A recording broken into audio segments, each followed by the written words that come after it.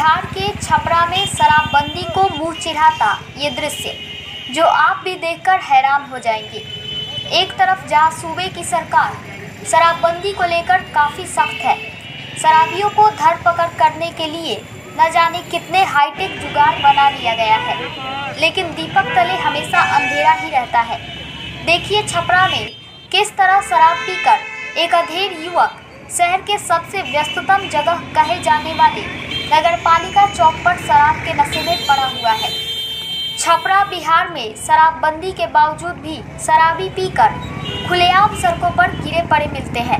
यह नज़ारा है छपरा के सबसे व्यस्तम जगह नगर पालिका चौक, जहाँ के इर्द गिर्द सारे प्रशासनिक पदाधिकारियों का कार्यालय भी है।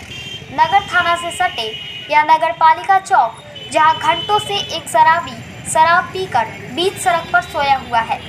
जिसके चलते आवागमन भी काफ़ी बाधित होता दिख रहा है। वहीं ड्यूटी पर तैनात ट्रैफ़िक पुलिस को इस बात की सूचना दी गई। तब जाकर उन्होंने कहा कि नगर थाना को सूचित कर दिया गया है। पुलिस आएगी तब उठाकर ले जाएगी।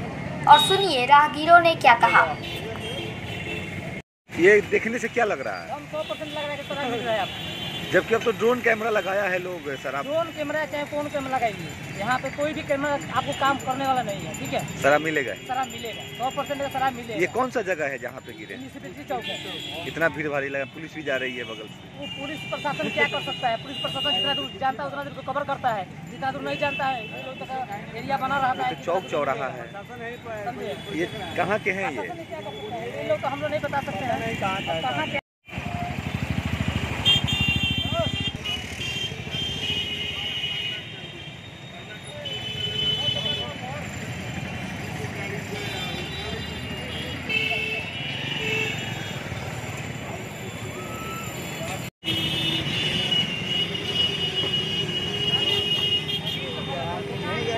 वहाँ एक आदमी शराब पीकर गिरा हुआ है।